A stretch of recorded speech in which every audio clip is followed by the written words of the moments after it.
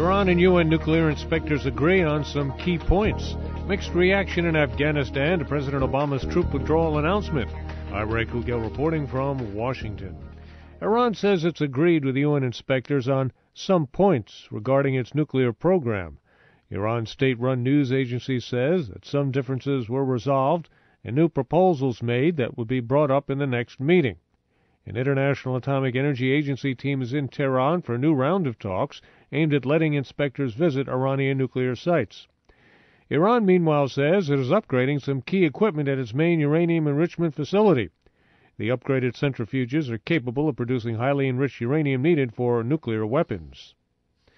Secretary of State John Kerry says the United States has to change what he calls Syrian President Bashar al-Assad's calculation about his situation.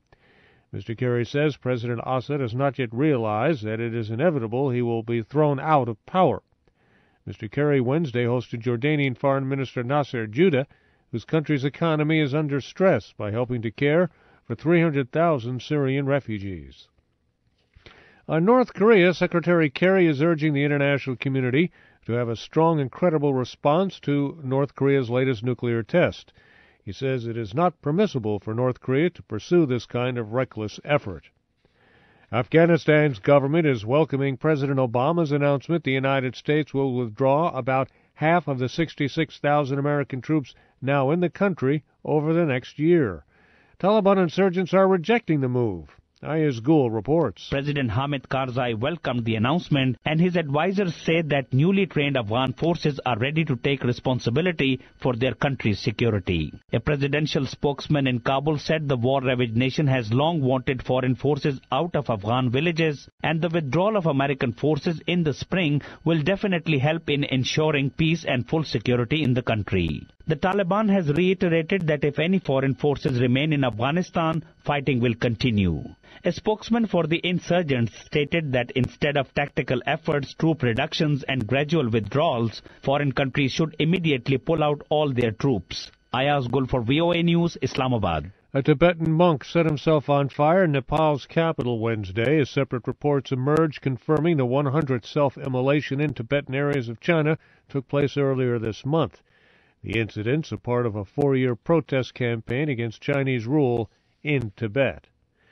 Thousands crowded into St. Peter's Basilica at the Vatican as Pope Benedict led his last scheduled Mass marking Ash Wednesday. VOA's Al Pessin reports. A choir sang as the 85-year-old Pope entered the church walking on his own. He looked somewhat frail in his ceremonial purple robe and boarded a moving platform to travel down the long center aisle. His voice was raspy but clear.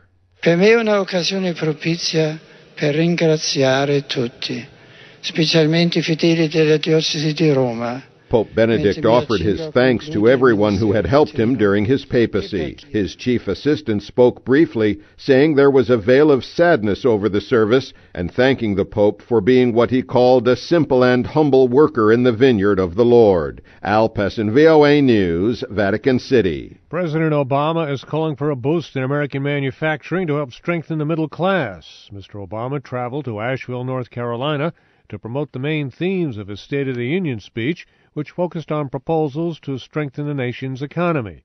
Speaking at a factory in Asheville, Mr. Obama called for the creation of more centers for high-tech manufacturing and raising the minimum wage. I also believe we provide our people skills and training by investing in education, and that has to start early. It has to start early. So uh, I, I talked about making sure the kids are getting early childhood education making sure that our high schools are preparing our children for a high-tech economy, and making sure that colleges are affordable and accessible to every single American. President Obama proposed working with towns and cities to attract investors and set a national goal of training 2 million Americans with skills that will directly lead to jobs.